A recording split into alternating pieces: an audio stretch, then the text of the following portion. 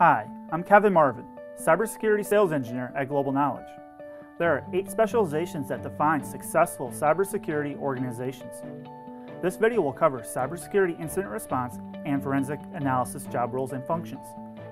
Even the best defenses are breached from time to time.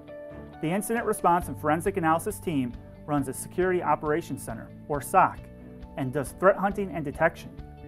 They detect and analyze security events and respond by taking appropriate action, whether that means disconnecting a machine or simply sandboxing a piece of software to determine if it's infected with malware. They are also experts at forensic analysis and can detect what an attacker did and how they did it. As a result, this team develops evidence to be used in trial when needed, following standard chain of evidence rules. They use a variety of tools to do their work, including log analysis tools and special tools to capture images of memory and hard drives to use in forensic analysis. They often send samples to the VirusTotal website for analysis as well. They are the first responders of the cybersecurity world, and their job is to detect and respond to an attack as quickly as possible. Incident response engineers are constantly trying to improve the speed of detection and response.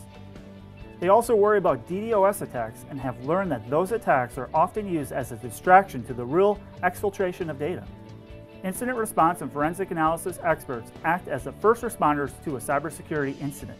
Without such capabilities, an organization would be unable to respond to an incident, leading to much larger losses than necessary.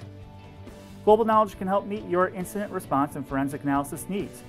Visit us at www.globalknowledge.com to learn more.